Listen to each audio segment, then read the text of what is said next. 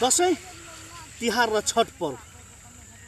सकिएसँगै तराई मधेसमा यति बेला कृषकहरू वर्षे बालीको रूपमा चिनिने धान बाली भित्र्याउन कम्मर कसेर लागि परेका छन्।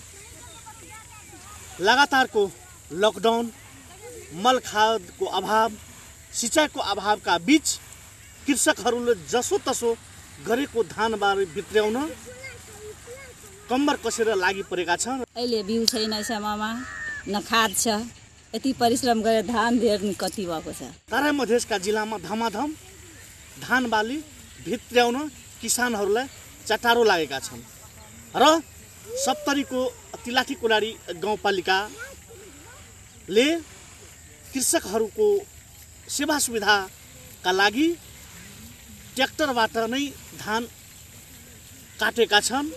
यद्यपि किसानहरू स्वयं पनि धान भित्र्याउन लागि परेका देखिन्छ।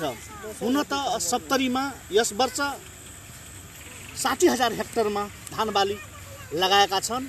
यद्यपि यस गाउँपालिकामा गाउँपालिकाले थ्रेसर जडान ट्र्याक्टरबाट अधिकांश वडाहरूको धान काटेपछि कृषकहरूमा खुसी छाएका छन्।